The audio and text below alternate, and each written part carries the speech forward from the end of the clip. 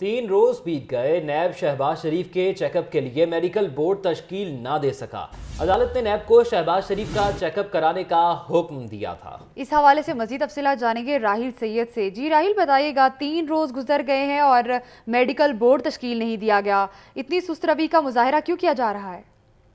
جی زینب سست روی کا مظاہرہ تو کیا جا رہا ہے کہ تین روز روز میں بورڈ جب بنانا تھا اور ان کو کہا گیا یہ گیا تھا کہ بورڈ تشکیل دینے کے بعد شباز شریف کا چیک اپ کروایا جائے کیونکہ شباز شریف جب اسلام آباد گئے تھے تو انہوں نے اسلام آباد میں بھی چیک اپ کروایا تھا، لیکن اس پر نیب نے جواب دیا تھا کہ شیخ زید میں بھی ہمارے پاس ٹیم موجود ہے، جہاں پر شباز شریف کا چیک اپ کروایا جائے گا۔ لیکن ابھی تین روز گزرنے کے باوجود بھی میڈیکل بورڈ کی تشکیل نہیں ہو سکی۔ میڈیکل بورڈ بنے گا، تو پھر شباز شریف کو دوبارہ ٹیسٹ ہوں گے اور ان کو یہ چیک کیا جائے گا۔ کیونکہ جو طبیعت ہے وہ کی سطح خراب ہے کینسر تو ان کے جو دوبارہ جس میں پہلا تاہم جو نیب نے یہ جواب جب اپنا داخل کروایا تھا کہ میڈیکل بورڈ تشکیل دیں گے، لیکن اس میں تین دنوں میں ابھی تک کوئی پیش رفت دیکھنے میں نہیں ہے اور تین دن گزرنے کے بعد باوجود بھی جو ہے، ابھی تک میڈیکل بورڈ تشکیل نہیں دیا جا سکا، جس کی وجہ سے ان کی فیملی میں بھی تشویش پائی جاتی پائی جاتی ہے جن کی فیملی بھی جا کے ان سے ملے گی تو وہاں اس پہ بھی یہ بات چیت ہوگی کہ ابھی تک ان کا میڈیکل بورڈ کیوں تشکیل نہیں دیا جا سکا۔ اس حوالے سے کہا یہ جا رہا ہے کہ ان کی جو فیملی ہے، ان کے جو بیٹے ہیں، جلد دوبارہ جو ہے چیئرمین نیب سے اس حوالے سے بات چیت کریں گے۔ جی۔